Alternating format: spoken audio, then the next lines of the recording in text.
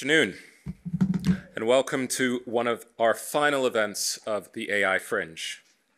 My name is Justin King, and I am a director at Milltown Partners, the organizers of the AI Fringe. The Fringe was created as a response to the announcement of the Government AI Safety Summit. We wanted to ensure a diverse range of organizations and individuals can complement the discussion that happened earlier this week at Bletchley Park by expanding the conversation to other topics beyond frontier existential risks brought on by AI. Many of the events that have become a part of the AI Fringe itself have been created through collaboration with many different organizations, contributing their insights and their knowledge to this week. We have to say this from the bottom of my heart, we really couldn't truly have done it without them.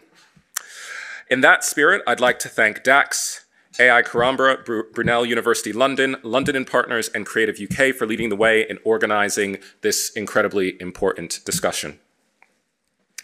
From artists to writers, AI is impacting many creators who whose copyrighted protected works have been used to train AI models, often without their permission or fair pay, but many artists and creators are also using AI in their own practice.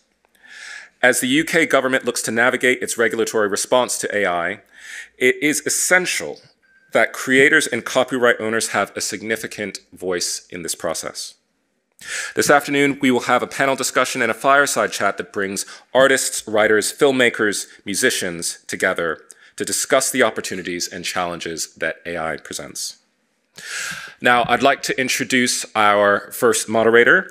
I will hand it over to Lara Carmona, Director of Policy and Engagement at Creative UK, who will be chairing our first session.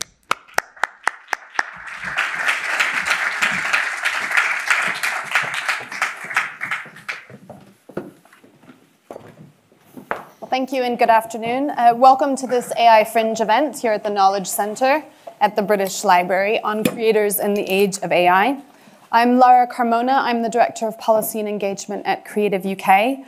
Um, but before I introduce um, my panel and uh, tell you a bit about Creative UK and what we're going to talk about today, I want to remind you that this session is being filmed and a recording will be shared publicly. There will also be a write up published um, in the next week or so. And I also want to share with you that if you'd like to ask the panel a question, we'll open the session up at the end of the conversation. We have had some questions come in across social media, and hopefully we'll have some time to address those as well. Um, so uh, this week has seen the beginning of the UK government and others convene a whole range of stakeholders to discuss how the UK and our global community should navigate the challenges and opportunities of AI.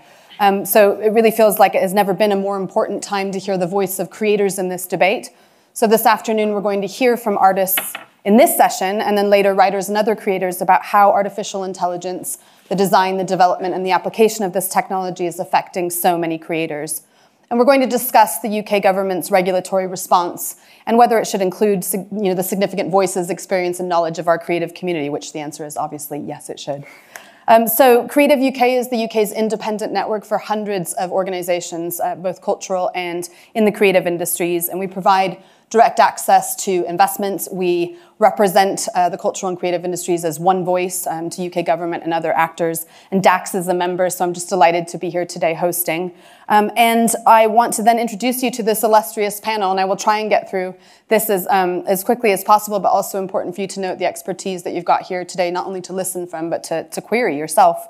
So um, immediately to my left, that is the right direction, is Dr. Pogus Caesar, who is a conceptual artist, a filmmaker, and archivist who utilizes multiple media. He was born in St. Kitts, West Indies, and grew up in Birmingham.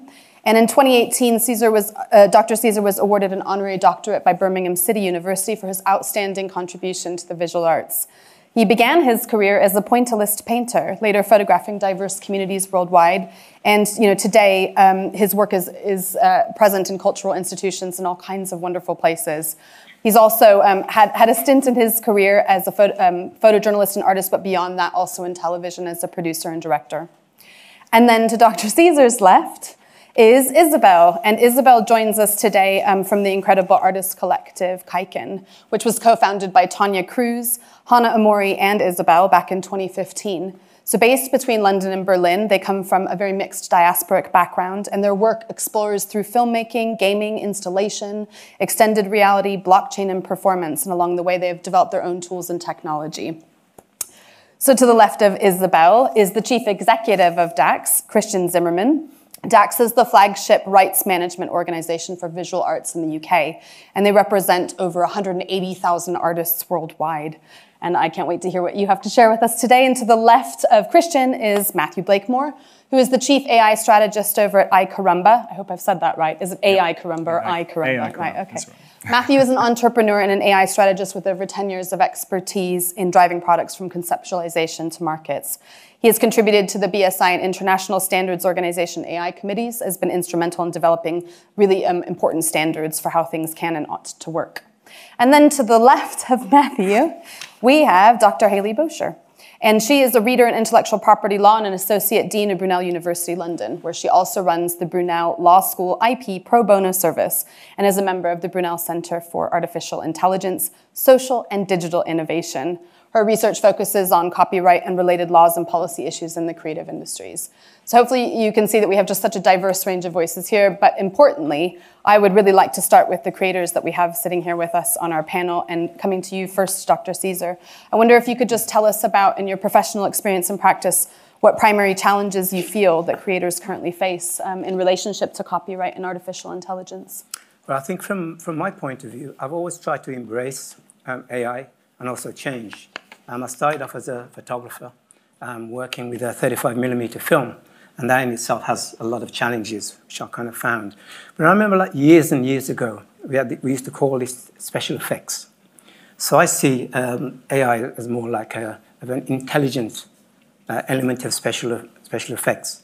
I try to embrace it um, where possible, um, but I, I'm not fearful of it because you know we're going through so much change, and as we know um, on a daily basis, we're hearing more and more about AI and what the possibilities are, but also um, how it can be detrimental to the society.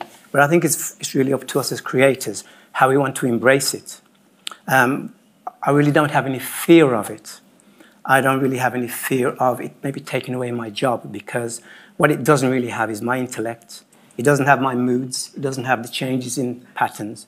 And because I have the ability um, to make artwork, uh, leave it for a while, let it breathe, um, and then go back to it. I think the challenge is that we probably all have is allowing possibly the media to frighten us into not wanting to embrace the technology, um, because we all have. Um, in my pocket, I have AI, which is the mobile phone.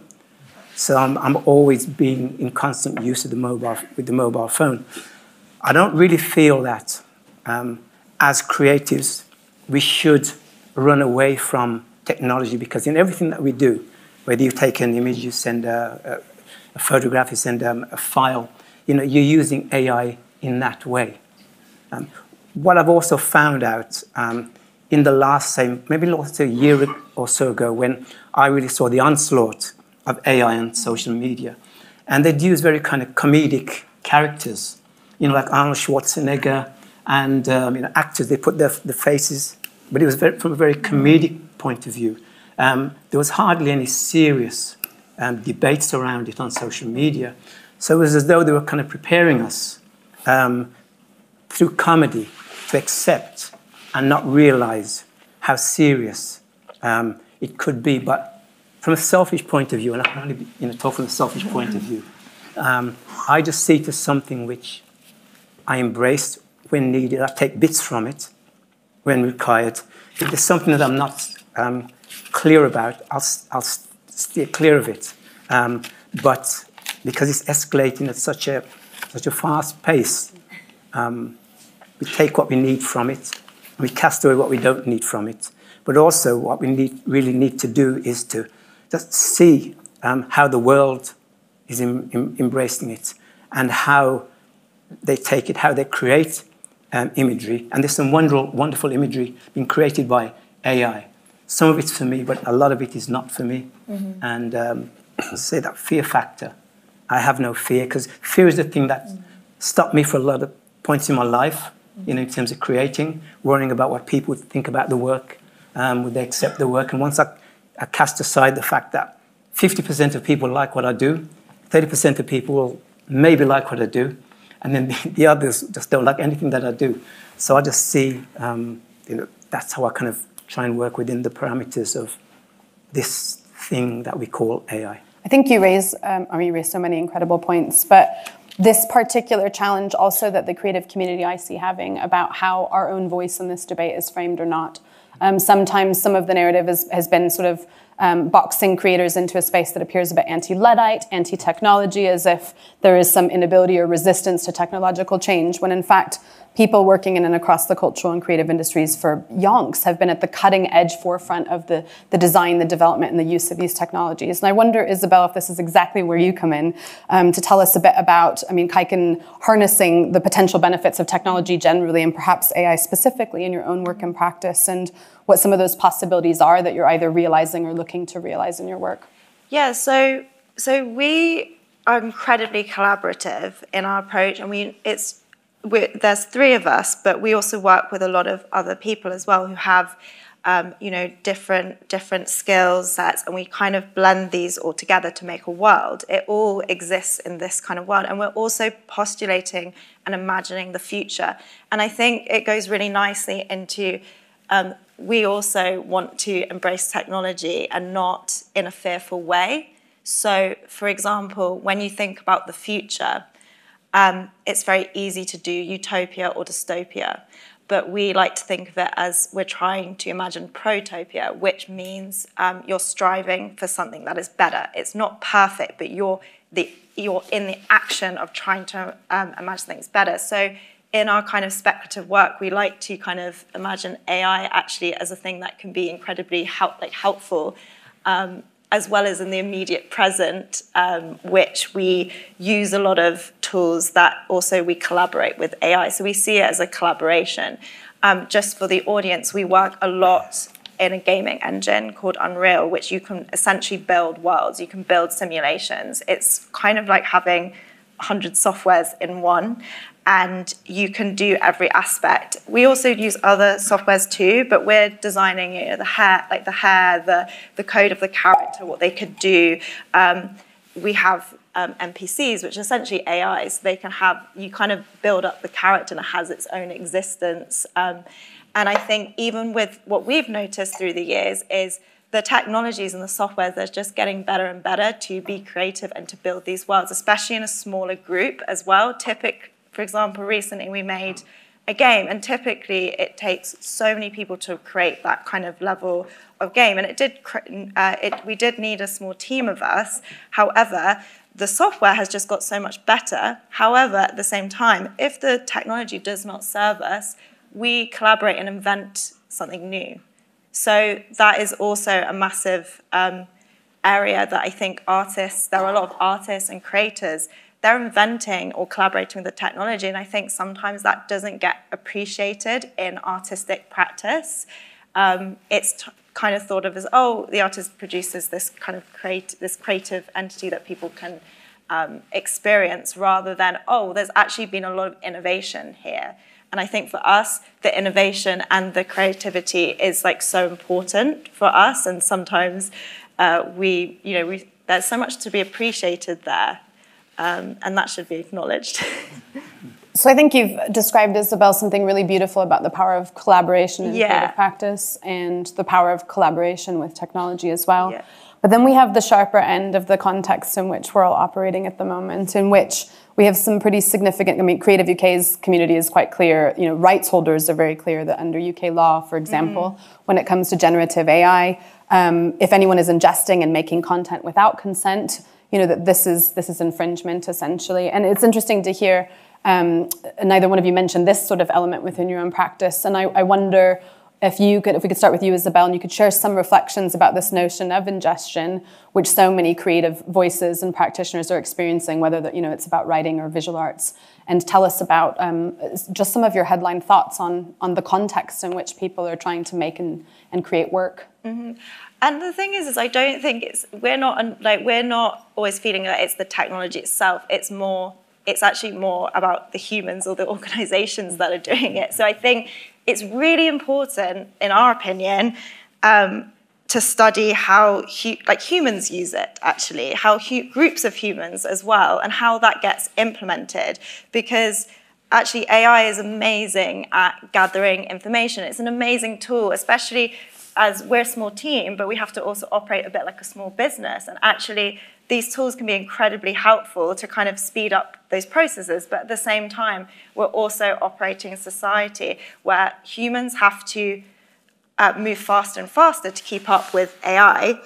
And actually, what we, I think what would be more beneficial is actually what differentiates the two and how can we collaborate and how can we slow down the, how can we slow down the, hum, the human? How can we go at our own pace and the AI can do what it's really good at rather than trying to project onto AI the kind of, um, I guess that I maybe what you're talking about when, when um, someone decides to, okay, I'm gonna take the image or take the creativity and then use that and then profit, financially profit off that and not acknowledge the where that's come from. And then it's talking about, well, how does the policy around that to protect protect those processes and that wisdom and how do you um, how do you help artists or creators be able to protect protect those um, their knowledge, their wisdom that they've collaborated with the tools? I have no doubt Christian and Matthew and Hayleigh have a huge amount to say here, but I wonder because uh, what reflections you might have building off of what Isabel said. I mean, again, from from uh, my point of view, there's there's always ways in which um, people will profit from your work. Uh, once you upload information or images um, through whatever media, that's left open for anybody mm-hmm. um, to take it, um, re-reference it, change it, put it, make it in another form, and you're not always able to find out um, where, it, where, it en- where, it, ends up. I remember I had a, there's an example on Facebook. Somebody tried to Facebook, Facebook friended, friended me, and they were from Australia, and th- their banner was one of my photographs. Mm-hmm. So I got in touch with the person and said, where did you get, get this image? So we bought it at the street market um, for $20. So I said, you really need to kind of take it down. So it goes so far as to how do you stop people, and you can't do that. I mean, you know, being a member of, of DACS, one of the great things I found out is I'm able to work in conjunction with experts um, who have much better knowledge um, than I about how to utilize the work, how to you know, utilize the frame. But it's only when I'm alerted to where the work has gone. If I don't know where the work has gone, there's no way that I can challenge it. And also then if you're trying to um, say something to take, you know, take down letter, um, and then how do you know how much profit they've made? If you've got like say a street market and they're selling T-shirts, um, you know, like I've got photographs of all kinds of people, so they put that um, on the T-shirts. Um, what can I do? And there's very little I can do, actually do about it. Um, so either I keep engaging or I stop.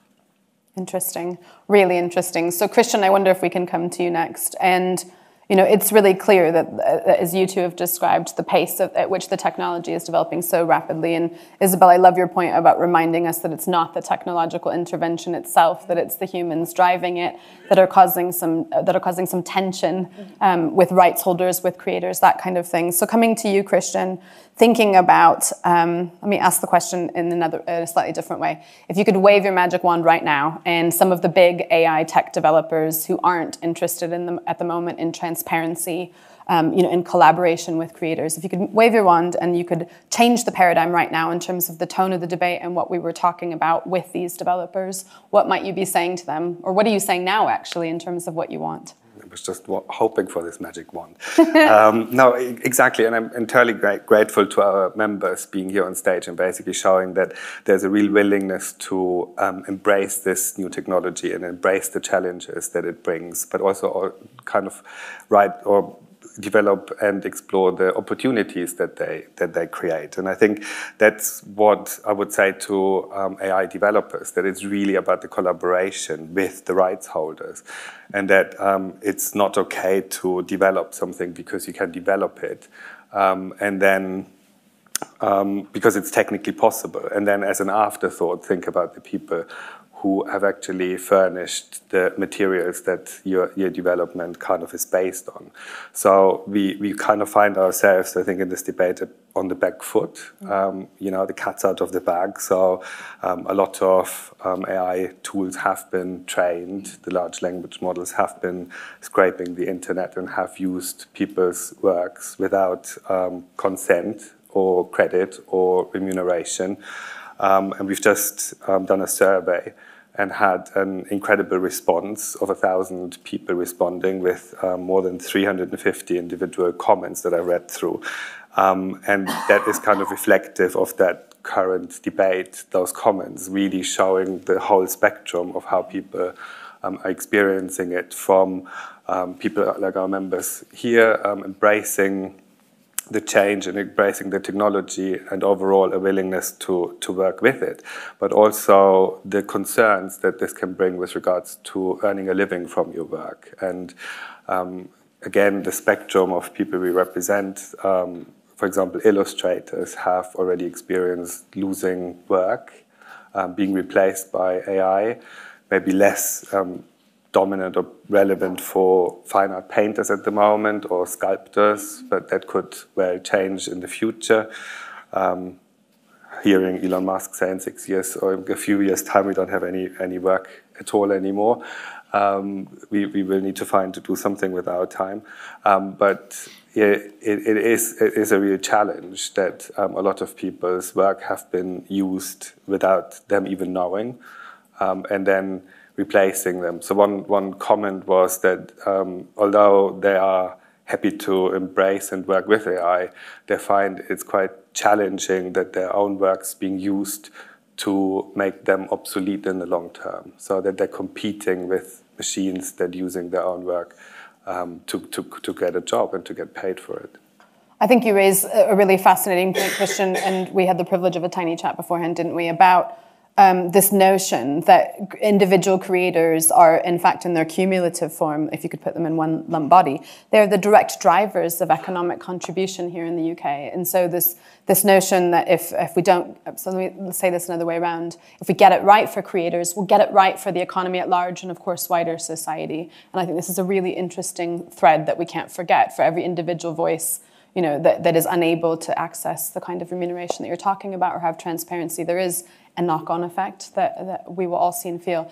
Hayleigh, I wonder if this is a point um, that you can come in and share with us some of your reflections about the current copyright framework and how IP-rich the cultural and creative industries are, and, and the way that, that in fact drives you know the UK's economic position in huge ways, where it's an incredible driver for growth. Individual artists make make the UK sing. Yeah, I mean, how long you got? Do you know what I mean? I could totally. A few minutes. Yeah, exactly. Talk about that all day long.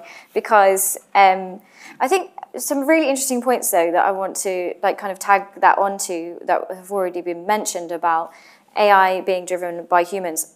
So is IP, like so is intellectual property in terms of what it protects and how it functions, but also the regulation and the law.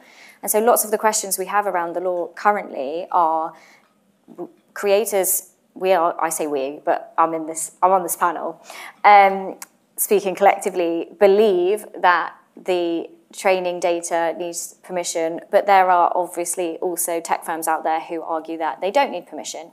And we both are very firm in our position that we're right, and that tells you that the law is confusing the fact that we're both, we're, everyone's so sure that they're correct, the law can be interpreted in different ways. So we need clarity, and that's where the policymakers come in. But also to remember that we are part of that conversation, and that's why it's so important that we're having this conversation, because we need to remember that we are part of that decision making process and our voices need to be heard in that discussion. It's not something that is happens over there and then imposed upon us. We need to be part of that discussion and, and raise our voices and share that perspective because it's not automatically on the table. It should be.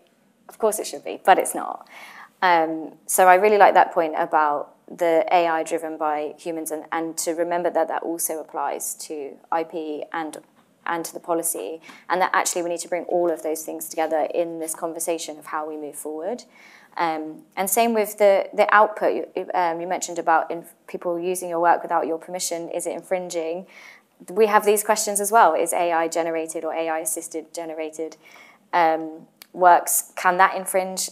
our, work. Like the law is designed around human creativity currently, and uh, as you would expect, and then it will be applied and interpreted and kind of like you're shoehorning this new context into a law that was written for an old context. And part of it may work and may not work, but there are decisions to be made about how those balances are upheld in terms of promoting innovation and protecting creators at the same time. I think that's a really nice way to frame it. So, Matthew, your chance to come in here. Not that you're representing technology as one massive block, but um, as an expert. I feel like I'm, I'm the bad guy in this. Uh, you are not, this, you're not a bad guy. You come to the table, which no. means that you're not a bad guy. I mean, so, so you're here. You're here in this debate to offer us a slightly different perspective. Sure. I mean, I guess I, I come at it from the angle of of innovation as well as understanding the importance of protecting the creative sector. I mean, it's worth noting the creative sector, you know, contributes 153 billion a year to the UK. So it's it's not the case that we want to kind of replace creators. I think that would be a nightmare. Um, what I would say is that it's it's an interesting space with these generative AI tools. Um, not not all of the companies are acting unethically. You know, we've got Shutterstock, for example, who do reward the artists um, for for their works, or the photographers who, um, when their works are used to train a model and the images, images are generated. Um, but then, as, as you touched on, you know, there are also other companies that, that hold the opinion that the works that come out of these generative tools are not derivative. Um, I do struggle with that a little bit because I would argue that yes, in some cases they're not derivative, but it really depends on the prompt that's been input.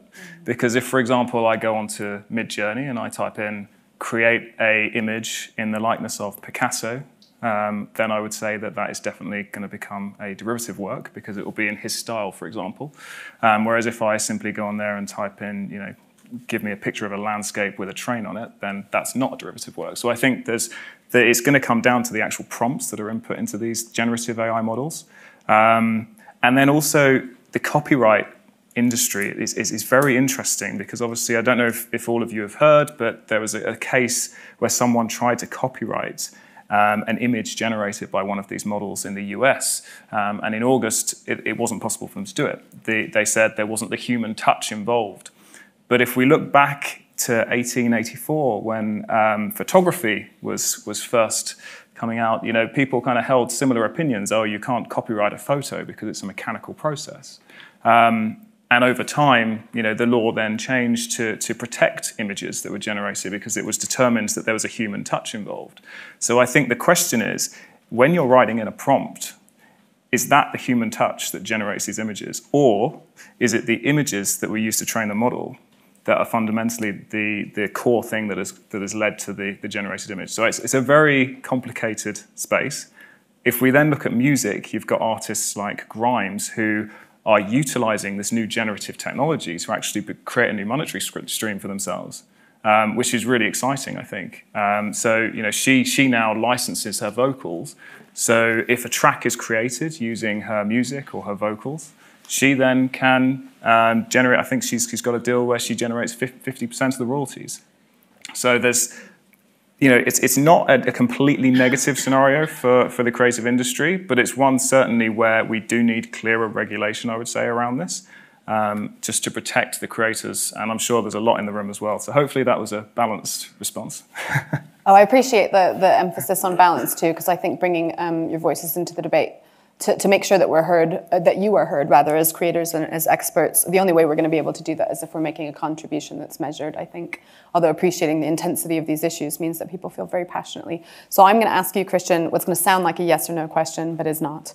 Um, does it matter that some AI developers are not currently transparent about their input data? Yes. Tell me more. Can't get I thought it was a easily. yes or no question. it, was, it was a setup. It was to give yeah, you a preamble. Okay, all right. No, thank you. Um, Why no, does I, it matter? I think it does matter because um, it's, there's such an uncertainty out there. Um, as we've just heard, from a legal point of view, we don't know fully or fully understand of what is happening. We currently um, all in a holding pattern, it feels. Um, nobody's really kind of coming out um, explicitly to, to, to regulate because um, we are also in an environment where we have um, countries saying that they want to create the environment for AI companies or businesses to come and um, do their business and be able to do it unhampered. So there's a real reluctance in kind of coming out and, and regulate. I mean, the EU has just tried to do it, um, but the UK um, is still kind of a bit behind it. Um, and I think this uncertainty is, is a real challenge for a lot of artists, also those who want to embrace this new technology because they don't know is what they, for example, use ethical? Is it infringing other people's work? And then, as um, Matthew just said, is what, what comes out of it actually something that is then copyright protected? Is that something that they can claim to be a work? I mean, there's a lot of uncertainty, I feel, also with regards to the language that we're using in, in these contexts about creation and creating and artistic. So, or, or we said the human touch isn't necessarily something that um, the UK copyright law, for example, enshrines as a as a um, as a motto um, or principle, um, but other jurisdictions, for example, do. And so I, I think not being able to know um, if these models um, have infringed or have used other people's work has an impact on how, how you may want to use it in your own practice. Thank you for that. I, mean, rights, the rights holders community is very clear that agreements must be in place and that the principles of copyright are there to be applied, although appreciating the interpretation of that varies depending on who you ask. But I wonder back to you, Dr. Caesar, um, first. When you think about um, how, uh, looking ahead, you might collaborate uh, or become a co-creator with AI in your work, do, do, you, do you think about that? And if so, what does that look like for you? Beyond what you're already doing, I mean? Well, at present, we know we do work with AI. Um, we recently finished, um, I was finished a film with Benjamin Zephaniah, the poet. Yes. Um, it's about the Handsworth Riots, 1985 Handsworth Riots, and in that, we actually needed to use elements of AI. And so I work very, you know, collaborate with my editor. So he's actually much more smarter than I. Um, what I have in my head, um, he allows me to um, expel that imagination mm. in all kinds of different, different ways. And one of the ways that um, we use a lot of um, archive material in it. So one of the ways I kind of got around it was using a lot of the material that DACS has, and also a lot of um, uh, material um, that I've owned for over the over the years. So you know that's kind of working, you know, um, in collaboration. Mm-hmm. And as you were saying, you know, we do have a small cells of people that we do work with, and people who are much brighter than I um, which is always a good, good thing. Now, just going back to another point about um, copyright infringement. A couple of years ago, um, I was uh, got a couple of um, emails. Said, you know, do you know your um, one of your pictures um, is on a major broadcasters? they used two seconds of it, and I got in touch with DACS, and uh, the people who infringed the copyright they had to pay four times more as much. Mm. And then last year, um, on Facebook. Somebody said, ah, great to see your photograph of Lenny Henry on. Again, they didn't um, go to DACS. Then again, they had to pay about four times as much. So even these are major broadcasters. Mm. So there's still somebody within that who should know. Are still trying to kind of hedge it, hoping that it'll go out and you won't know anything about it. So that this constant battle with people who should know um, you're, you know, you're, still having that. So going back to your point where we say um, they, are infringing your copyright, yes. Then, um, then asking you, why then asking you? Um, because they still think as creators, we don't know the business side of things. And that's how it's been for so many years, where you just concentrate on the artwork and you leave it to everybody else. To manage the business. Yes, but then if you leave it to everybody else, um, there comes a point where you become AI reliant on uh, the business person. Mm-hmm. So you've got, you know, so you're reliant on the business person within the organization that license your work, and then you're, you're trying to fight against AI anyway. So one has to just keep studying. I mean, I'm a great, um, I mean, I'm taking information all the time, but the information about AI is just so confusing. I actually don't know um, where I am. You, you, spoke about Grimes, the musician, mm. and uh, how smart she is. Now, am I right in saying that she's in a relationship with um, Elon Musk? Former, former. Former. Yeah. Former. Okay. Gotta so- keep up, Dr. Caesar. Oh, oh, sorry. Okay. but but again, you know, it's like, so um, you know, that reference of somebody who was in a relationship with somebody of that stature actually puts them in a prime position to Learn. to un- learn and understand, you know, much more about um, not just now, but the future. Because as we know, you know, everything's you know, it's all been decided for us, you know, for the next 20 years. And um, I just think, you know, it's about just embracing, you know, and I keep using this word about embracing, you know, working with people who understand much more than than yourself. Because you can just be a creator and feel that's all I need to do. But those are the old days. You know, the old days are completely, um, you know, they, they're gone. And for us as, as artists, some of us do get stuck in how it used to be, as opposed to how it is now and how it's going to be in the future. Thank you for that. So, thinking then about this new paradigm in which creators and artists have a voice and have a seat at the table, I wonder, Hayleigh, if you can share um, some perspective on how creators and artists can have a better, bigger voice in policymaking in relationship to this technological, you know, wave. Um, I can't not respond to the Grimes thing. I'm sorry. I'm sat here like, don't say anything. I have to. So, Grimes is not smart and Grimes doesn't know what copyright is. And I would love, if anyone knows her, please, I want to talk to her. I want to tell her about copyright. Because what happened was she simply tweeted, anyone can use my voice uh, in their AI thing and pay me 50%. That is not an enforceable contract. How is she supposed to know if she's just relying on the goodwill of someone knocking on her door and just giving her money? Which, as you've just explained, is not really the context that we're often working in. So then, like two weeks later, people start using her voice in AI generated works, but she doesn't like the way that they're doing it. In the meantime, she's given an interview in a media article saying, copyright's rubbish, put it in the bin.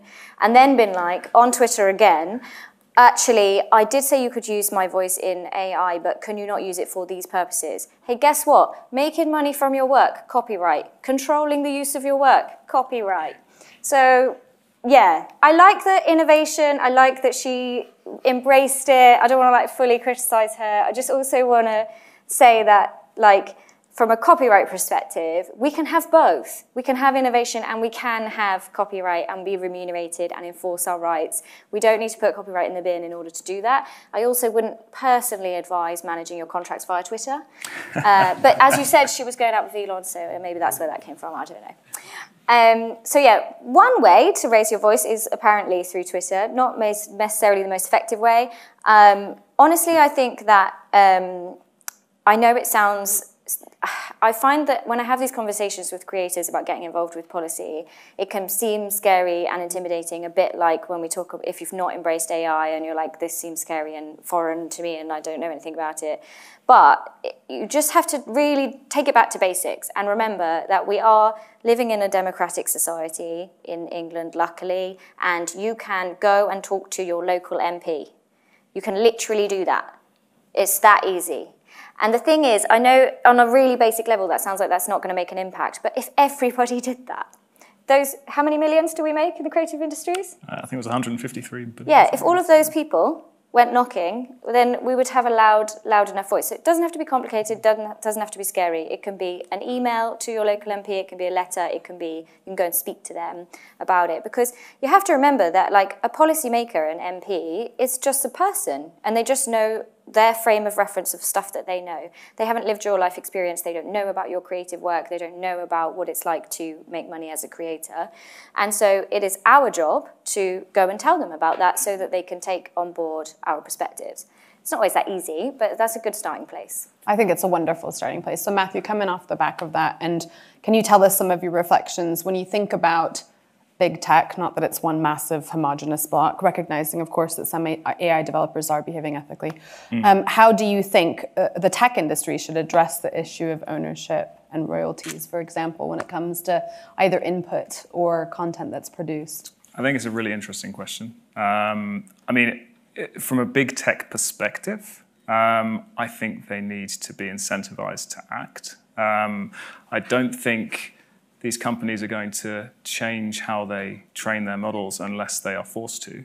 Um, and I think the, the UK government approach at the moment is is to kind of create a code of conduct. Um, there's a working group on copyright, for example, that are going to advise on this, but it's not regulation as such. Um, and the danger of relying on a code of conduct or on best practices is that these companies are, are in a, a, race to produce the most effective models, to produce the best quality models that can be utilized. And if, if that means using copyrighted works to train their models, then they're going to carry on doing it until there are serious consequences for them.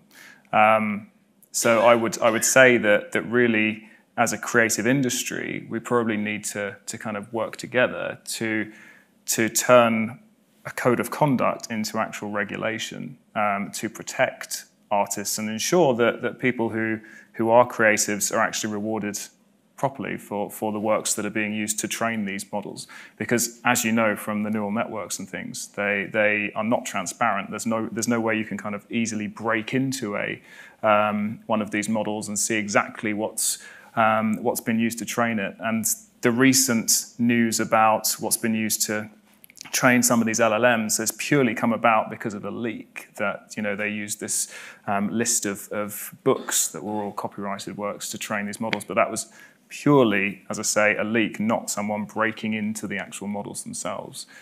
So, so Christian, thinking about how DACS represents 180,000 artists worldwide, and you've shared a bit about the recent survey data that you've mm. done. Did transparency come screaming through the content about what people want? Yes. Um, a lot of 95% of respondents said they want to be able to consent to the use of their work. Then we had 93% wanted a credit, 94% um, compensation and transparency. So it's come through a lot, and there are solutions out there. So, um, for example, 83% of respondents would be happy for um, their work to be used under license. Um, a license that, for example, a collecting society like DACS could issue to the AI generators or the AI um, companies. So um, there is there's a willingness, um, but there is um, a need for openness, collaboration, and transparency.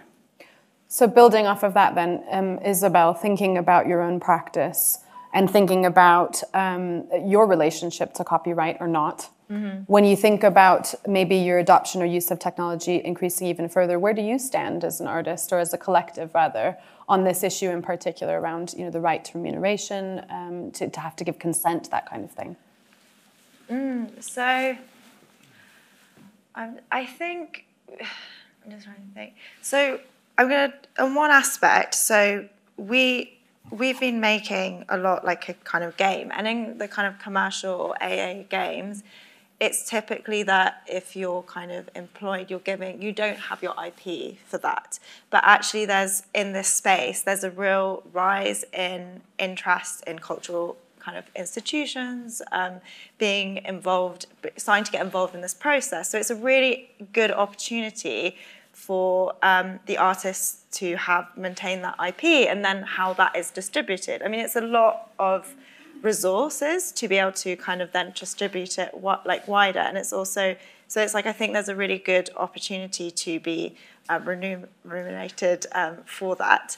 Um, in terms, I think for us as well, it's kind of we're three artists, and a, a issue we have all the time is that we'll sometimes get paid as one artist, but actually it's three people doing exactly the same work.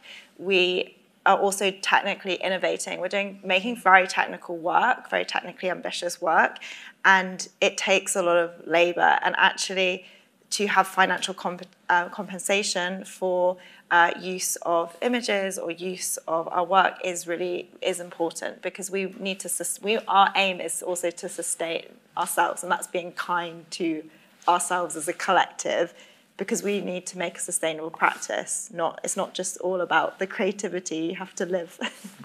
but that comes back to your point, Dr. Caesar, doesn't it, about that challenge that you have as an artist about navigating the complexity of the business landscape, as it were, while also thinking about your creative practice. So I want to ask a slightly um, interesting question. When you think about the difference between what's AI generated or produced, let's say in artistic practice, um, where like like you, you're collaborating, or someone whose work is being ingested. And you think about the difference between those two. Should someone who is making work with AI tools be remunerated differently? Should that structure be different, um, as opposed to someone who's not engaging with you know those tools or systems, but whose work is being absorbed? I mean, I think they really need to ask permission first of all. See, if you're going to use my work um, and you're hoping to make um, you know, financial rewards from it or financial, financial gains, you really do need to ask that permission. And then that permission is either granted or it's not. Or it's not.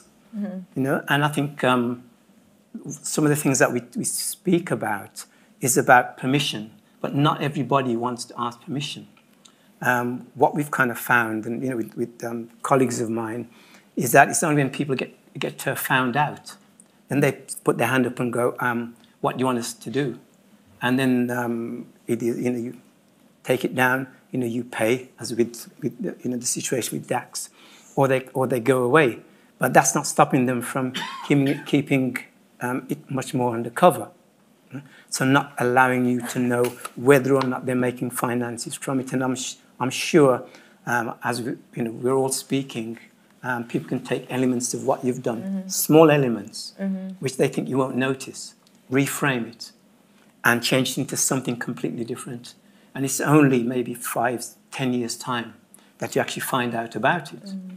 And then by then, who knows where it, where it would have gone and whatever financial gains. And also, it then possibly becomes the ownership of the person who made it because they've yeah. then forgot about you yeah. as the creator because the way that they've, they've you're not known in those territories. So there may be territories that I'm not known in. Mm-hmm. Um, and then, you know, you take one of the images and you, they put it on a plate or a cup or a badge. Um, so then it becomes, it's mine. But I'll never, I'll actually never find out about it. So um, there needs to be kind of joint understanding between the both of us. I would say from the point of view, again, and I, you know, I mean, I keep talking about DACS, but you know, if DACS were to come and say, look, you know, we've had, um, you know, um, company organization, people wanting to do this with your work, which they always do. Um, um, what do you think about it? And there's a discussion between us. Um, first of all, the territories that it's going to be used in also, am I kind of happy with the political situation in that particular country? Because I may not be at all. Um, are they going to use it for one thing? Um, and as we all know, a lot of people who apply for licenses and use a lot of galleries as well, um, you know, they just don't like dealing with DACS. A lot of them, you know, they always try it on. Believe you, believe you me. Um, because, and then a number of galleries, let's just deal with you on you. And I said, no, if I do that, then I can get myself in trouble. And even though I may have to say, um, I want to just deal with them, or again, somebody from DACS may say, um, we usually charge them this amount, but because of the budget, they only have that. What do you think? So that decision is mine, but still I have to go through DACS mm. In order to make that decision. So it's all clear. So if anything um, does happen, anything in the pro, they'll say, you know, um, you know, you decided upon it. So it's this kind of balance, but the well, balance is just. Um, it's imbalanced. So uh, it's imbalanced. I think there's a, a, really interesting point that you're making here. About, sorry, say that again. Sorry, yeah, you know, just. No, I know quite. So there's a really big point that everyone's making in slightly different ways. Who, who generates the content or value rather, who extracts it and who profits from it is, is quite different depending on where you look. So we have a, a, bit of time for a few questions from the audience. I mean, you have in front of you experts in all kinds of extraordinary things, and we would love to hear um, a couple of questions and see. Can we take them in batches of two first? Actually, can we take three, Kate, and then we'll, we'll see how we get on. Please tell us what your vantage point is. Tell us the perspective that you're coming from. Are you a creator? Are you a copyright expert? Are you a policymaker by any chance? Uh, hi,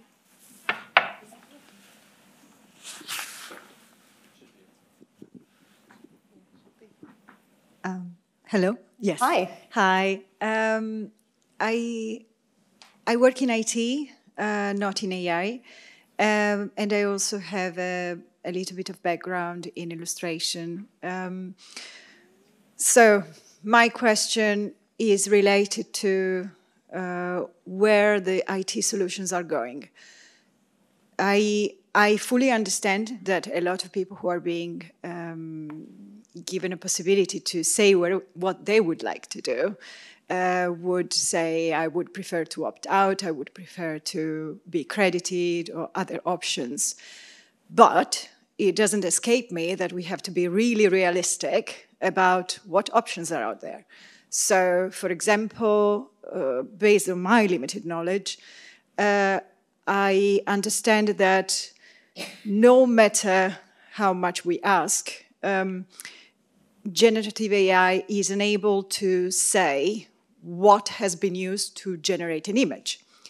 We can say what has been used to train it, so leaks or other, uh, but we will never know whether the image is derivative or not, to, to uh, link back to a previous uh, remark.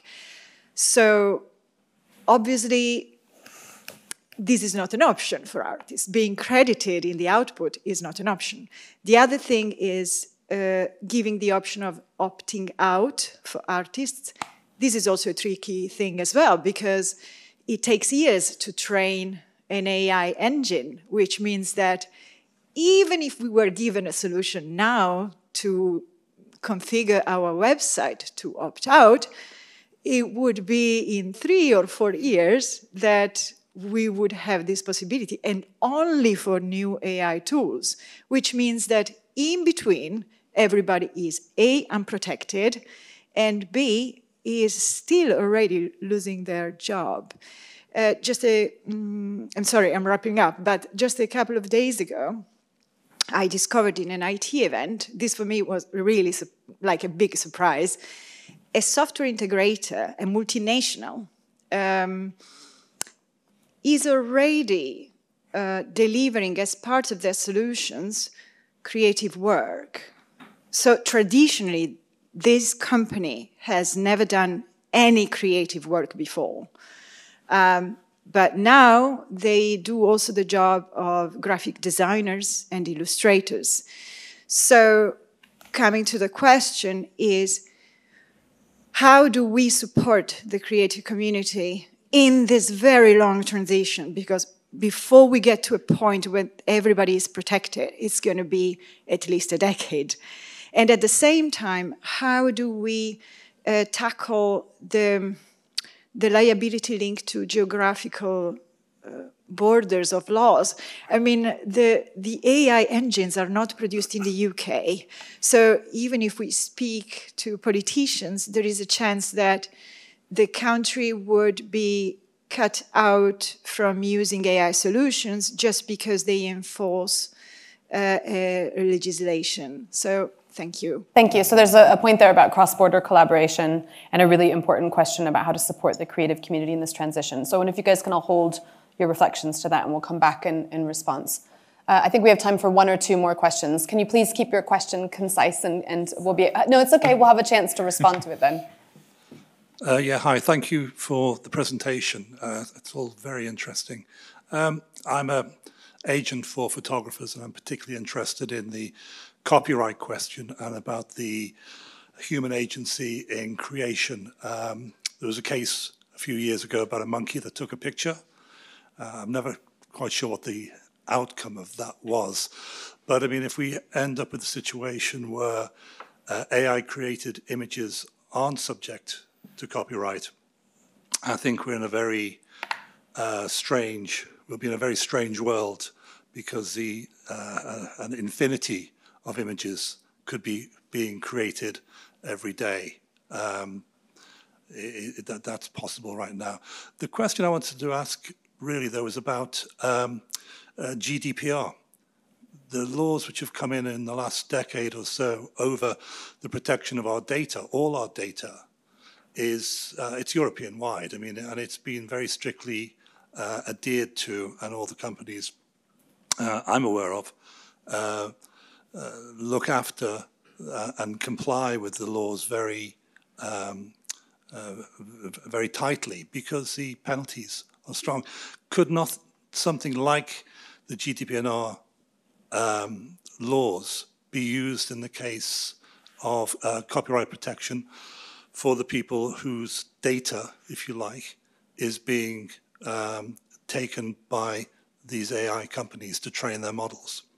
Thank you very much. One last question. Kate, I think oh, they. Oh, cool. Um, I just wanted to know at what point do artists have control over the prompts? So let's say OpenAI, um, let's say the Beatles wanted OpenAI not to use their prompts. From a copyright perspective, is that one way of mitigating sort of generative outputs from a, a more practical perspective? Okay, so I'm going to ask uh, Matthew if you can answer the question about prompts, hopefully. can you pick up Hayleigh, uh, the GDPR query? And then I wonder if we can then come in turn, so keep it brief. We could give Christian and Dr. Caesar and Isabel a chance to come back on how can we support the creative community in this transition. Sure. Um, so just to quickly, because I didn't get the full question on prompts, just to double check, um, is the question if you extract your name or you, you, you say, you know, don't ever let anyone put my name into a prompt, does that protect you? Is that the, is that the question? Yeah, to an extent. Also, that's probably an easy, practical way of identifying when someone's trying to create some derivative work. Mm, yes. Like in the prompt, and the prompt, especially if you're using an API, the prompt is sent, and the prompt can either be encrypted in the output or mm.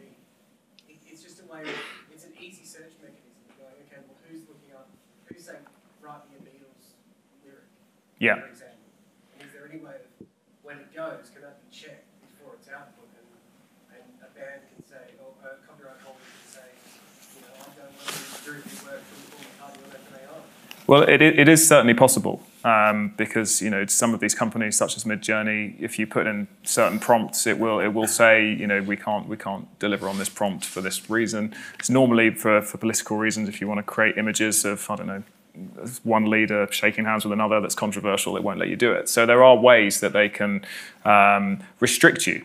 Um, and, and it is an interesting angle. It wouldn't, however, completely protect you um, because your work could still be uh, a derivative work for, for something it generates to another prompt, but it would certainly stop someone from going on there and saying, you know, create a work like this, this gentleman here, and you using your images to do that.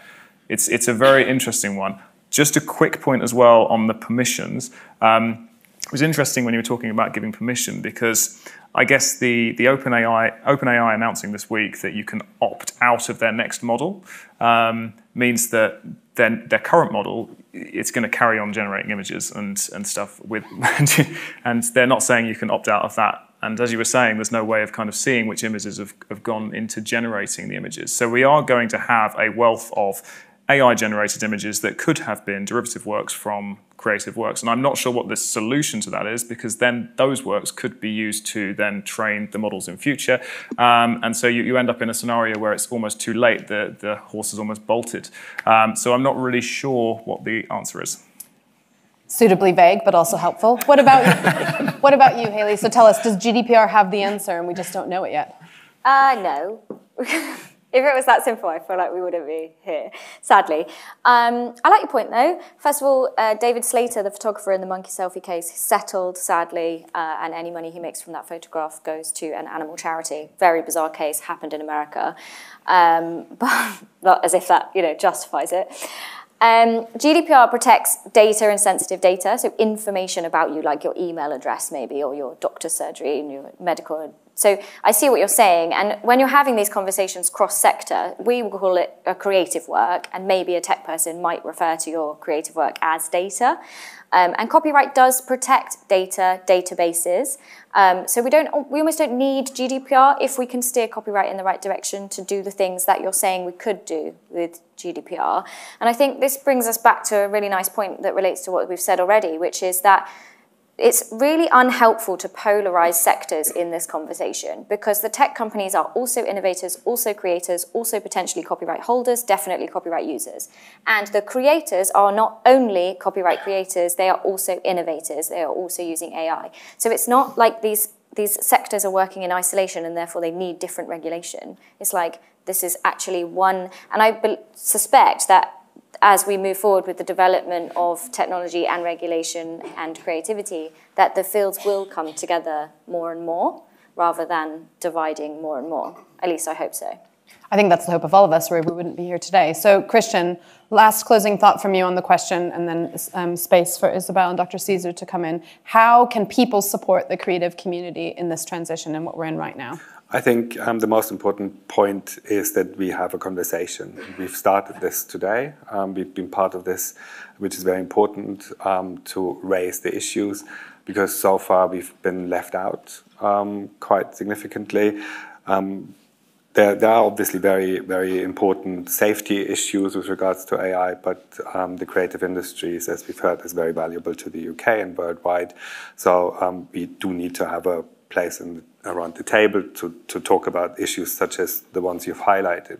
And I do not think that there is an easy answer. There is not um, going to be a one size fits all solution. I think it needs to be in collaboration with the um, AI producers and companies. Um, they do have the technology. They do know what they have in there. There is AIs out there. I know about one at least um, that can um, actually tell you how important a training work was for the outcome, and on the basis of this, it can actually also distribute royalties. So there, there is solutions out there already that kind of incorporate these um, these notions.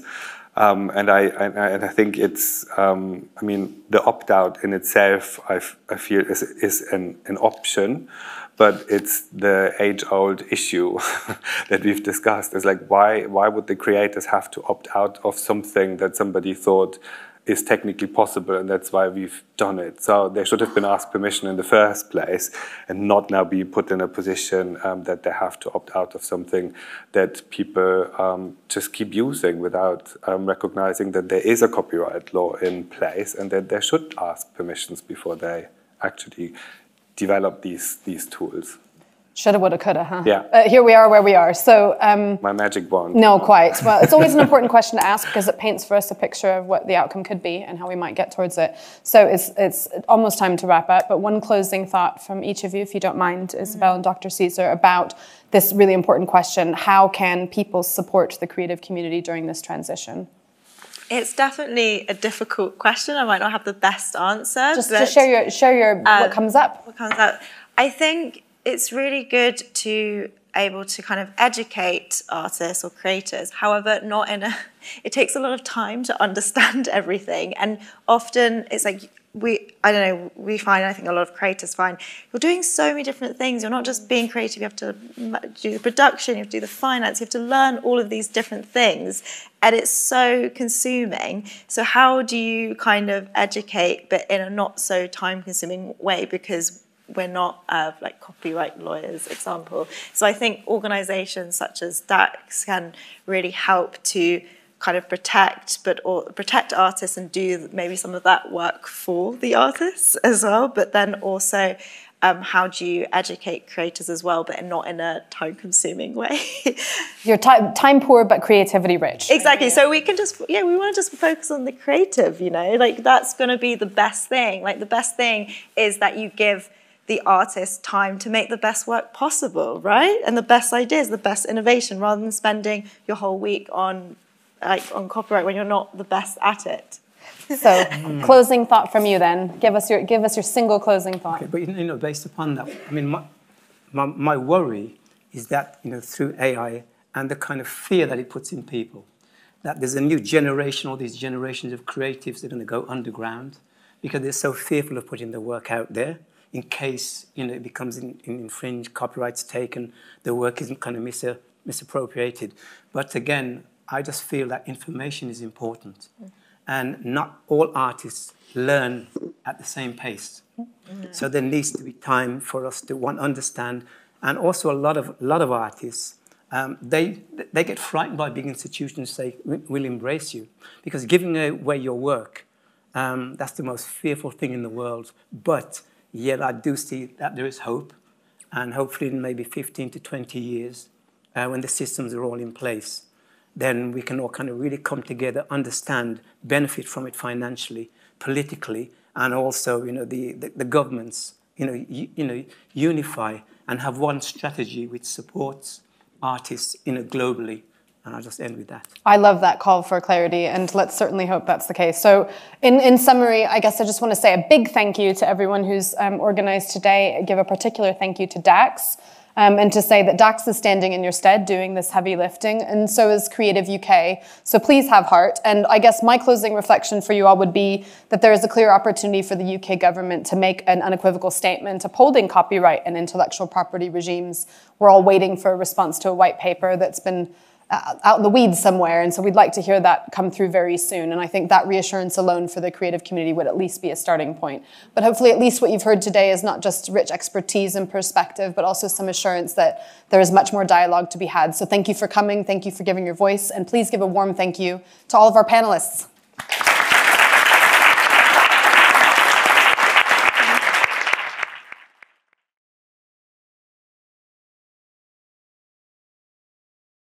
We're now going to move on to our next conversation, which will explore with creatives how they are deciphering AI's role in their work. I'd like to welcome our next panel, three more creators from uh, music, writing, and filmmaking to discuss the possibilities for AI and people in the creative industries. This panel will be chaired by Cristina Carmona, Carmona Aliaga, Senior Inward Investment Manager for the Creative Industries and Innovation at London and Partners.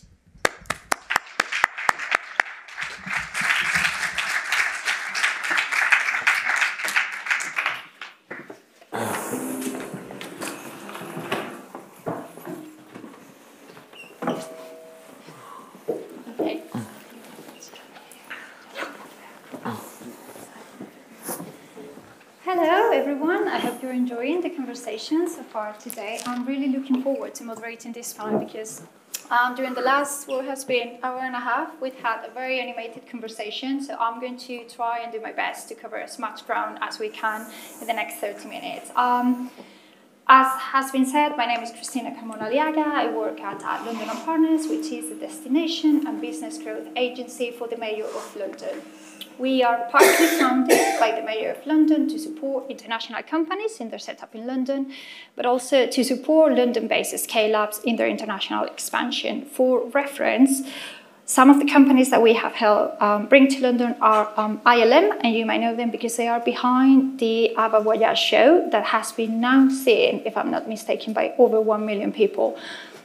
But um, one of the London-based companies we're working with is Metaphysic. And if the name doesn't ring a bell, I would just say that um, you probably saw during the pandemic the deep fake of Tom Cruise went viral, so Metaphysic are behind that. Um, we work also very closely with a number of stakeholders. So Creative UK is one of the organizations we collaborate with. And also, um, as we're funded by the mayor, anything that is a priority for the mayor is a priority for us. AI for creative industries is very much on top of the agenda. And in fact, I don't know if any of you knew, but yesterday there was a session um, as part of the AI Fringe that covered a new report on AI for creative industries that the Mayor of London has commissioned and that session was online and it was very interactive and informative. So if you're interested in that, I think there's going to be another session that they're um, organizing online for free in December. You might want to check that out. Before I introduce our panel, I just want to bring to your attention to the setting um, where we're having this conversation today. We are, of course, at the British Library. I don't know if you know that we're next door to the Alan Turing Institute, we are a short walk from Google DeepMind, and we are also a short walk from um, Central St. Martin's. So if there was a time and place to discuss the intersection of artificial intelligence and creativity, I think this is it. So now, without any further ado, I'd like to let our panel briefly introduce themselves, and we'll uh, hi, hello. Uh, I'm Lawrence Essex. I'm a filmmaker and an author.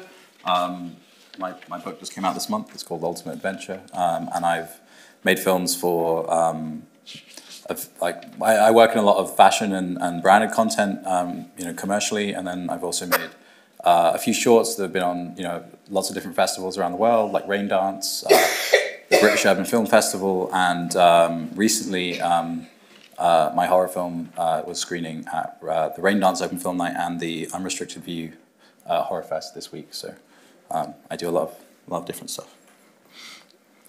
Hi, I'm Molly Smitten-Downes. I am historically a, a, music maker and songwriter, and more recently, a art director, graphic designer.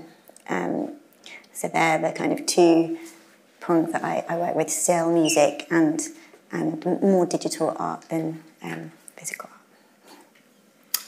My name is Justin Hackney. Um, I have been a creative director and a filmmaker for 12 plus years, mainly working in commercial, but documentary and fashion and music videos, a whole spectrum of stuff. But about a year and a half ago, I pivoted to set up an AI community, which turned into a creative studio uh, because we were very lucky to get um, early access through OpenAI and through Stability AI to some of the cool tools that we're all using now today. And we have since then been trying to stay at the forefront of it all, which is very difficult, let me tell you, and wade through all of the existentialism and all the questions and the debates for, for, for AI as a whole, but obviously coming from a place of creativity. As you can see, we have an amazing panel. And before we get things started, my first question is actually for you, the audience. So please put your hands up if you feel positive about the applications of AI for creative industries. Okay. And I think that's okay. So uh, put your hands up if you feel a bit more pessimistic. Okay, so there's, there's um, a grey area there of ambivalence as well in the audience. That's, that's very interesting. So I'm now going to, of course, ask you as creators the same question, which is how do you feel about AI for creative industries? Do you see it as intrusive in a space that we thought inherently human, or do you think it can be a tool to enhance creativity? Um, I, personally, I think it can be both. Um, I think it's definitely a tool, um, and I, you know, one I've used myself um, for a number of different applications. Uh, like just recently, I was I was applying for BFI development funding, um, and you know, having ChatGPT explain things to me like I was five years old uh, really helped with the application process. Um, you know, simplifying a lot of the criteria and stuff like that. That's just written with, you know, dregs and dregs of sort of jargon. Um, so and, and also, you know, I've used Midjourney to help generate things when I've been, you know, putting together pitch decks and, and, and things like that. But, but I do also think that, um, as with any tool, it can be very dangerous, you know, if used incorrectly or, you know, um, maliciously. Uh, and I think that at the moment we're kind of at this uh, weird phase where a lot of a lot of content, a lot of you know, people's work has been what do they call it? Data scraping. Uh, mm-hmm. You know, scraped without permission. Um, and, and kind of you know implemented in these models. Um, and it's and, and, and I don't know that, that that that just doesn't sit right with me because um, I don't I feel like I shouldn't be able to go and generate you know an image uh, in the style of like Frank Frazetta or Marc Simonetti who are like two you know big fancy you know illustrators um, and just it churn one out and then you know I could use that for anything um, and and they don't know and they don't receive any kind of monetary value from that so I think I think it's like a double edged sword I think there's a lot of like um, useful, like impressive things that you know people like we as creators and, and creatives can do um, with these tools. But I also think we need to be mindful and careful of like, you know, are they being used in the right way? I think yeah, when we've chatted amongst ourselves, that's been the general consensus that we have these these two mindsets. You have um, the progressive part of you that wants to embrace these technologies that we have as creatives generally always had to um, embrace new technologies which essentially enhance our abilities, whether that's music or filmmaking or photography. There, there's, there's a lot to be said for technology throughout history and how it's advanced um, production. Um, but then there's the ethical side of it, and that's where we're kind of very behind. And while we're all here, I suppose um, it comes down to the ethics, and um, yeah, that's uh, what we'll get into, I guess. Yeah, I, I, I knew at the beginning because I felt it myself um, how impactful AI was. I had that kind of attack on my senses, my e- ego, very early on, and through the people around me. I lost a lot of friends by showing them like what DALL-E was at its infancy because it threatened what a process that we've become, we spent our whole lives chasing. Mm. Those same, same people who kind of like said no to me and to it and kind of walked, walked a mile, they then come through into AA through ChatGPT or through something that doesn't necessarily apply to their practice. And, and this is what I found in so many ways is even if it's not one tool, it's something else that's probably going to help you in your process like you say, applying for a BFI, you know, or uh, putting an NDA or legal document through a language model to make sure that you're not getting, you know, ifed over by um, a license for for your usage. But you're right. There's like if you're building a, if you've got a hammer, it could be used to murder someone as much as it could be to build a school. Um, but I think we shouldn't be driven by our fear and the unknowns, especially if and this happens a lot. There's headlines and we want to retreat into it because there's lots happening in the world. But ultimately, these tools they provide such freedom and diversification, a democratization of like not just art but language and so many other things. And it's it's seeming like it's here to stay. It's not going to go anywhere. So I'm worried that we quabble for too long whilst regulation doesn't catch up. Whilst instead, what we should be doing is trying to understand it, embrace it, and actually have by doing so, a say in how it develops and how we have that relationship with technology moving forward. And um, Justin, you've referenced um, headlines, and of course, we were having that conversation um, previously about how much of the news that we consume, of course, are a bit doom and gloom on the future of AI. And just recently, I don't know if you've seen it, but today the FT was, uh, of course, publishing um, some of the you know, context of the interview of Elon Musk with the Prime Minister. And, and Musk was saying AI is going to take our jobs in the future, which doesn't really contribute to the conversation. So, because we were talking backstage about some very interesting positive applications of AI in the context of creative industries. I would really like to ask you and to share with the audience some of those case studies you've seen because I think they can be very inspiring as well. Yeah, yeah. I mean, I have seen countless examples of how you can work with an agency so they can provide content for their products, for their clients, that have a bit more of a back and forth with their customer by making it more creative, more personalized. You know, there's lots of creative processes that I've obviously um, can be kind of fast tracked through these tools. And a lot of people think, well, that's not fair because then someone's just basically doing less and getting more. But the truth is, we all creatives, we all kind of engineers, we all kind of pushers of stuff, dialogue.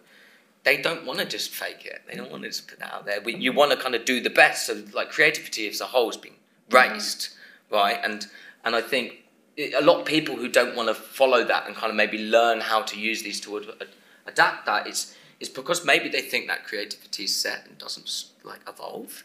But it has done through photography, it has done through so many periods in our history. This is like that, but on a kind of completely different level, and I understand that. It kind of affects more than just one type of art. But in the same way, like photography then ended up giving uh, images to the world of current events, and it all kind of interconnects. It's, it's really, it's hard for me to know that there's like loads of um, negatives in the space because obviously we know this. It's like we know there's evil in the world, but we should really focus on the positives. And with creating, I mean, last night I did a pitch deck that would normally have taken me about a month, and we did it in about six hours. And I was able to do it at such a rapid pace that it was kind of closer to my true and mm-hmm. uh, my idea. It's like when you make music, you know, if you actually spend too long kind of going back, you might kind of kill what was at the beginning. Yeah, so... we talked about that. There's, we have a term called demoitis in music because you create this demo in the moment when you've just written the song, and then you spend ages trying to like take the flaws out of it and make each part perfect, and you put all this stuff in it, and often you're like, I prefer the demo, and it's really annoying um, because you're like, why is it? And the demo just has something, and then that within this conversation, I suppose it always comes back somehow to what is art? I mean, you, you can't help but get a bit philosophical when you're talking about creativity. What is art? What is it that we value about art? What's the human element of, of that? And how do we protect that? And how do we make sure that people aren't being conned when they think that something's been created by something human? Because I think with music at the moment, currently what I've experienced with AI um, is really positive from a, um, in some respects, kind of a songwriting way. If you're trying to get, um, last night I was um, playing around with a friend's software. He works at a company called Splice, and they've got a beta phase thing where they're stacking loops.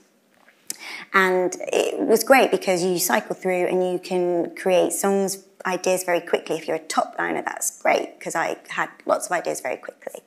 Um, but what I've not seen is something that replicates the sort of the performance element that we all really love, that you can't really explain. And I don't think AI is really able to at this moment in time, and I appreciate that that's just now and in the future that's probably not going to be the case, is to, it's the the soul of something. But that's music, and I think that that at the moment it will be the thing that AI struggles with the most because it's often the things that aren't quite right. It's the faults within it. With art and potentially more visual art and novelists, for example, we talked about that. That is, is I imagine it's it's going to be trickier um, to police and manage, but we most certainly need something that's in place to um, just make sure, I suppose, that we all know what we're looking at or experiencing. Yeah, I, I completely agree. I, I don't think that. Um, I don't think that. I mean, I, I can't speak for everyone that was that is skeptical, and I think I sit more on the side of skepticism than than uh, certainly Justin. Um, but but I think that it's it's not AI that I think is con- is what concerns people. I think it's it's or the tools or like the technology. I think it's how it's being used and what other people are going to do with it. And I always felt like creativity. It's a little bit like sex. Everybody wants it, but nobody wants to pay for it. You know, like um, we all consume film, music, TV, uh, you know, all kinds of media. But I've never seen an industry, um, you know, where where people who produce this stuff and, and you know create these things struggle to get paid so much. You know, uh, you wouldn't walk into a store. It's like that old uh, movie piracy ad. You wouldn't you wouldn't steal a car. You wouldn't you know you wouldn't steal a house or, or someone's identity. But but people do do all those things, um, and they certainly pirate art. And I think that's something that we're already seeing. Um, you know, on a massive scale with AI. Um, uh, there was an author, Jane Friedman, who uh, you know, she, she, it was kind of brought to her attention that people were making fake books um, that were, you know, had her name on the cover and the covers looked like hers and they were, they were being self-published on Amazon. And, you know, people were being tricked into thinking that she'd written these books, but she hadn't. And, you know, she had to go through all kinds of a, you know, like a legal process to get them taken down. And, and, and I think there's, that's the scary thing, I think, is, is that, um, for me anyway, is that as, as these tools you know, become more available and, and more, you know, they're more improved.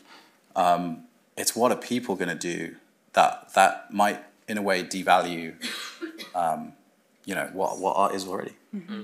Yeah, and craft, craftsmanship, for sure.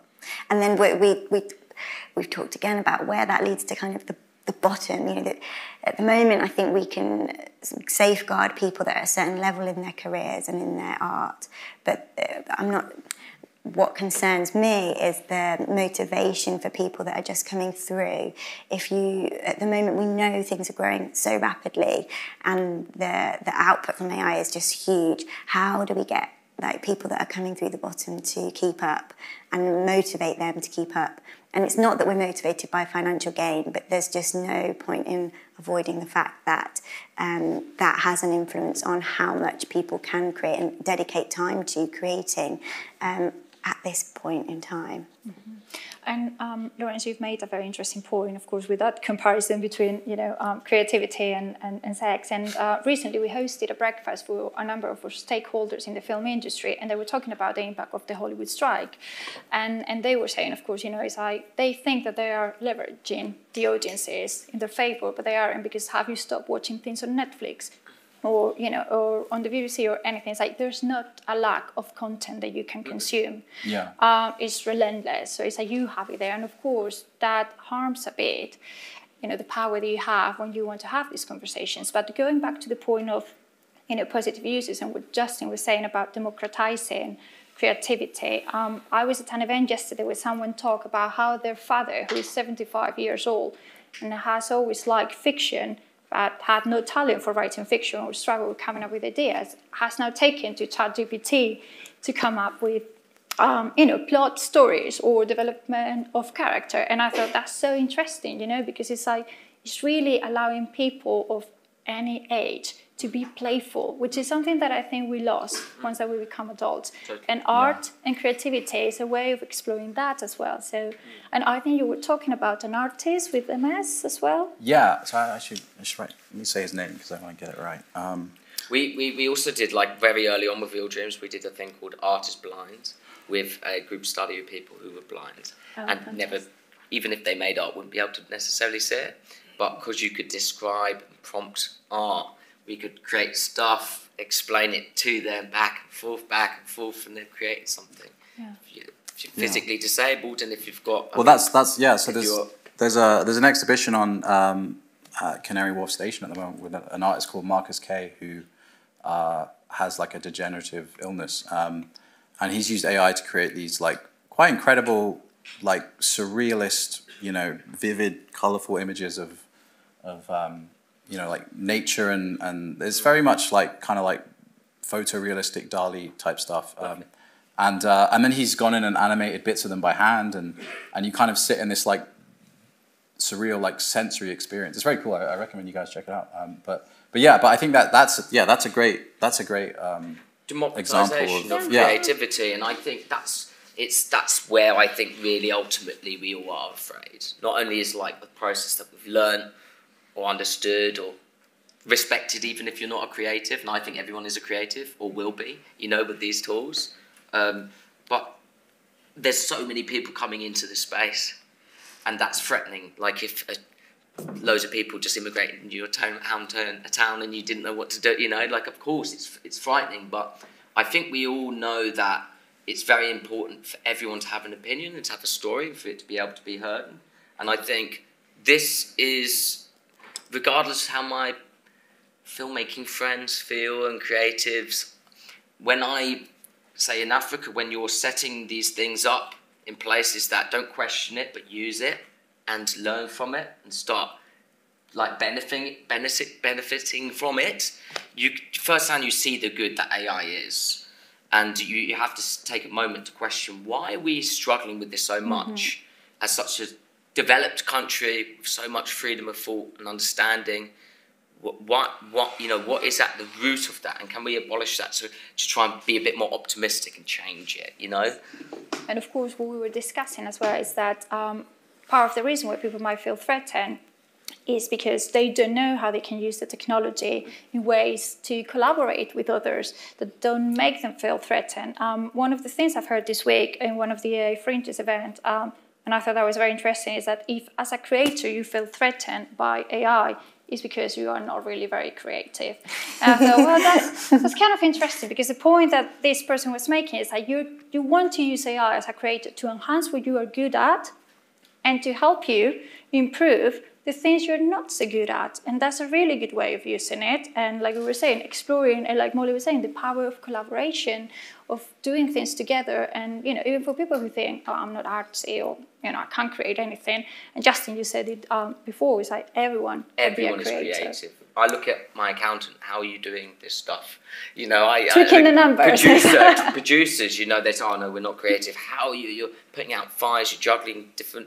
Like uh, everyone is creative, and to to personally see people like my mum, who was a teacher, but she used to be a fine. She used to do loads of stuff, sculptural work, all sorts. To see the creation she, she, I mean, she went away with it. She hit, she didn't want to prompt publicly. You know, she went away and she thought about it. She came back with all these images, and it was just so lovely to see what was in her mind, to have those conversations. And I think when she did finally kind of, because the technology is very accessible and easy to use. This is a difference between like even Google, which is hard, can be hard to get the right stuff, find the right information, pull your sources.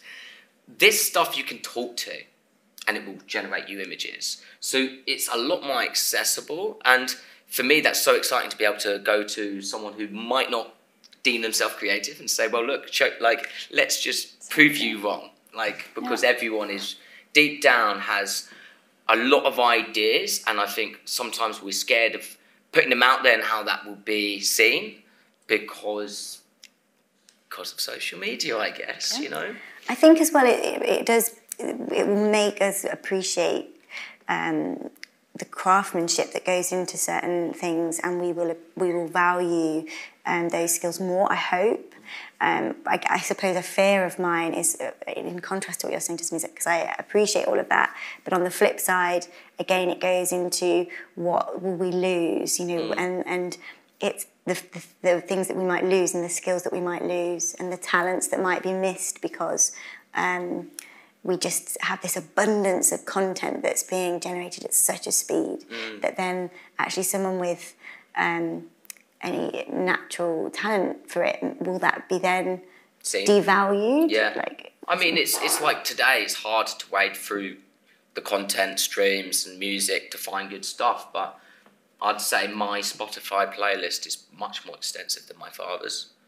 And has much better music on than what he showed me when I was a kid, including the music he had. You know, so it, it's kind of a case of if you're looking for good stuff, you'll find it.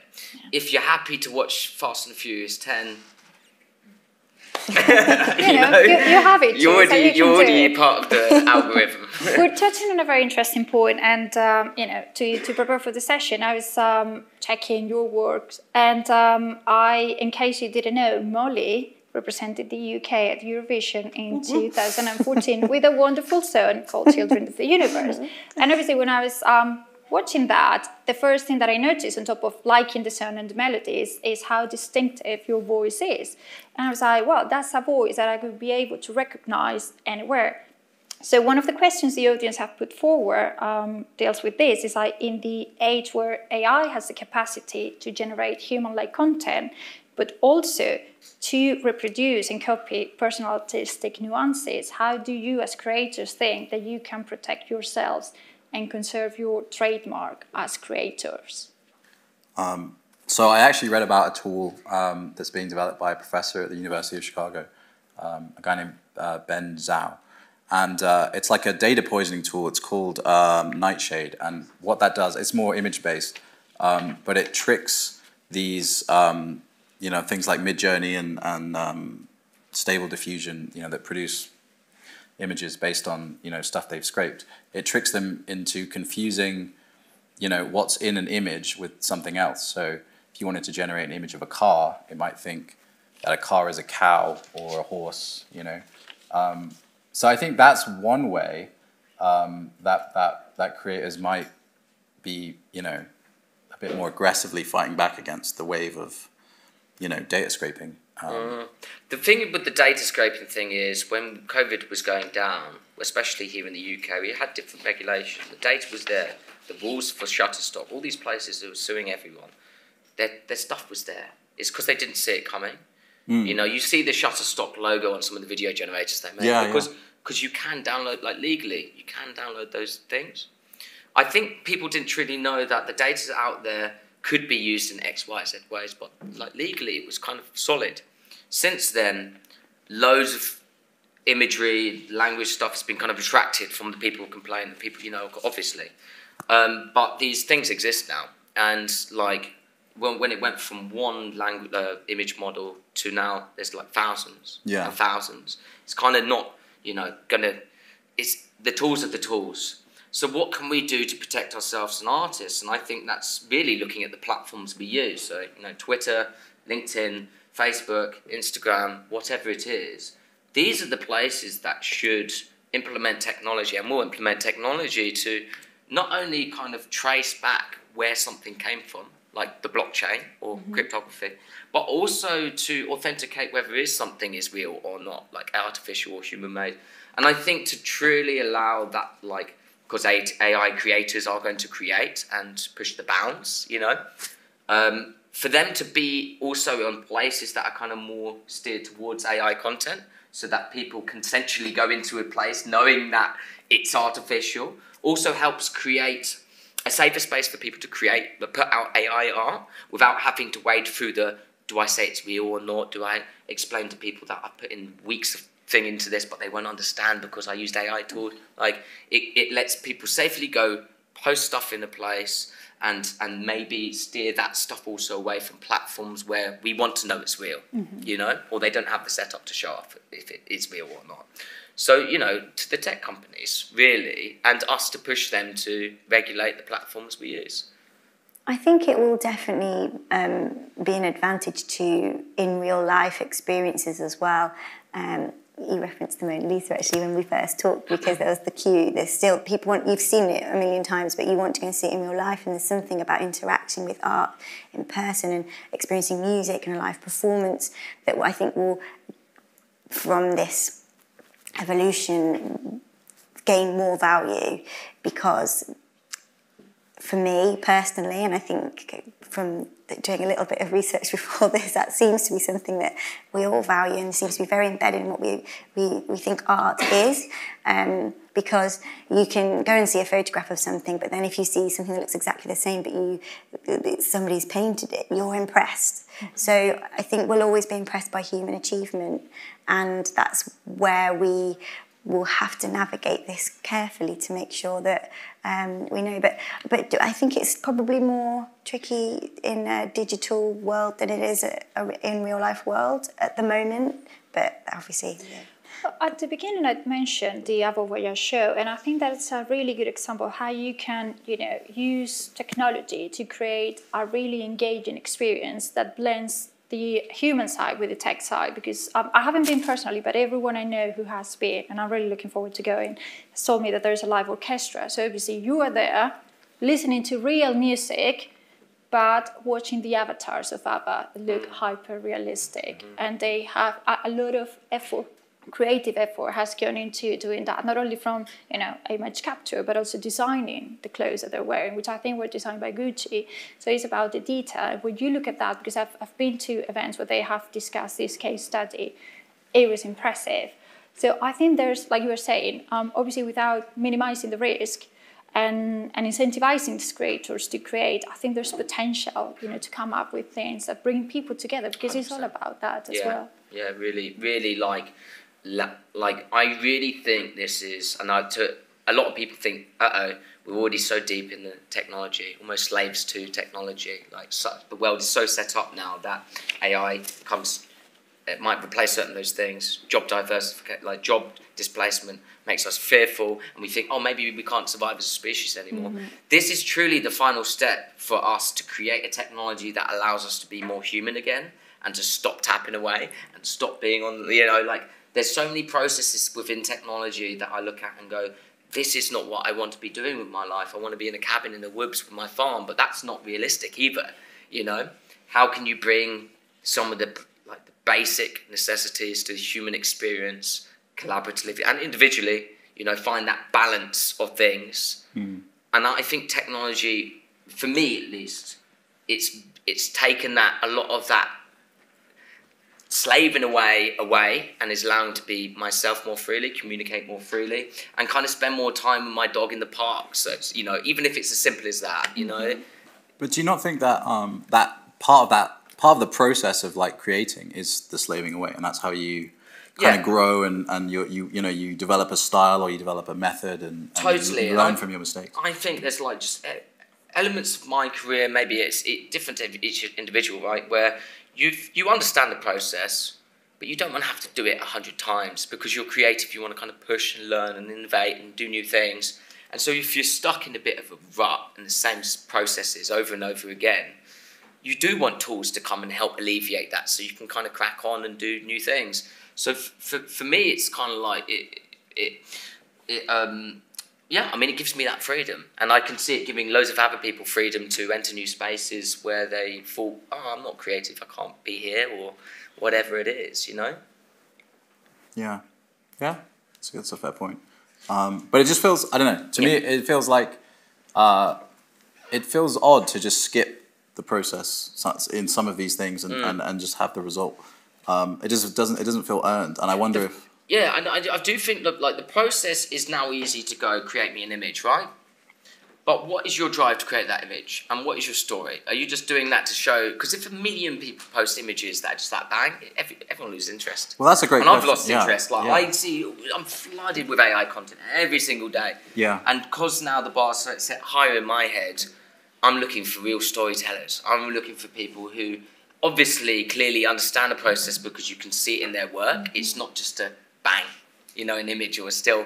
Mm. They've shown how they can apply something brand new to a process they already know and find an overlap. And that for me is fascinating. You know, you talk about interactive experiences, mixed reality, all these sorts of things.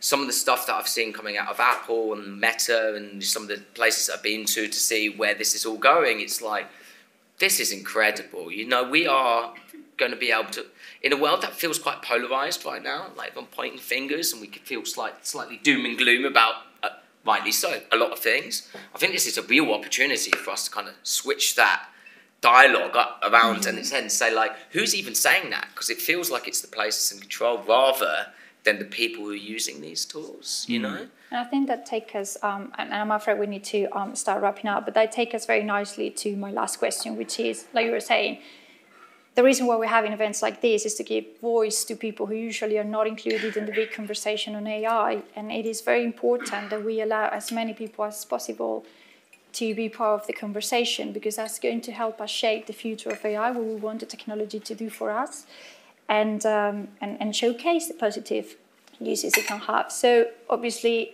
we're having this event on the back of the AI Safety Summit, which has not included creative industries on the agenda. So my last question would be, what will you have to say to those who have organized the AI Safety Summit? What will be the recommendations for the future, very briefly?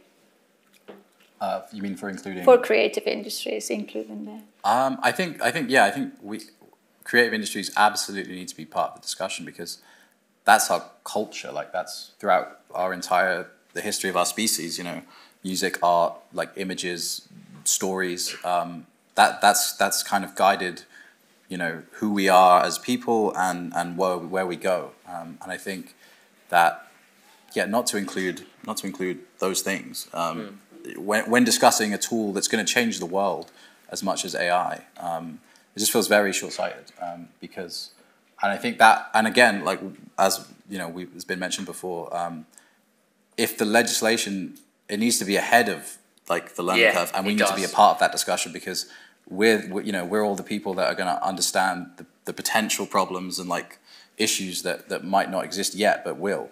Um, so yeah, that's that's my two cents. I'd just like to bring attention to the, the, the people that are coming after us and what's going to motivate artists to um, learn skills and um, and make sure that that's protected so that we don't lose kind of crafts mm-hmm.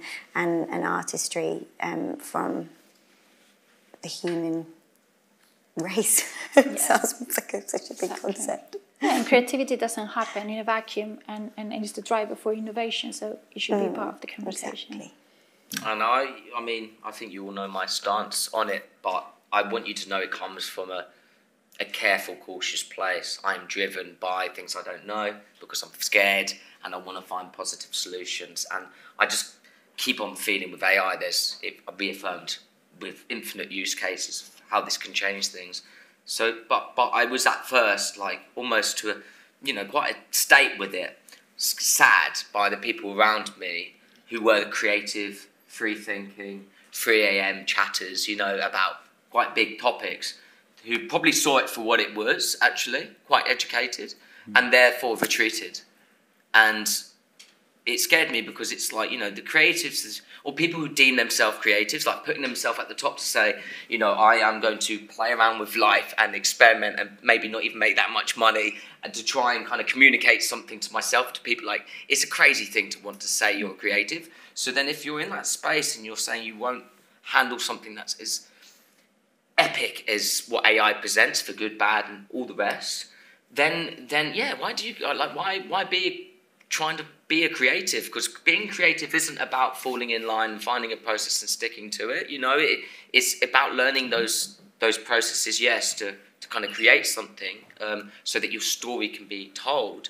But if we now have tools that allow us to tell stories in completely different ways, it's still messages from us. You know, it's I, I, I think there's ideas around the process that still needs to be taught. It's not about like, oh, it's nice to that to be kept. It's like if you want to prompt good fashion images, you need to have an understanding of fashion.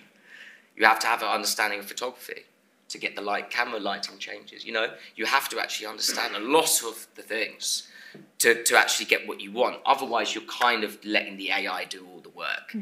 And I think that comes out like across to artists very quickly when they see something that's kind of not real and you know whether it gets public attention or not, which it will now because people are like, "What is this?" You know, but it won't. You know. I'm afraid our time's up. So thank you very much. It's been thank a pleasure. You.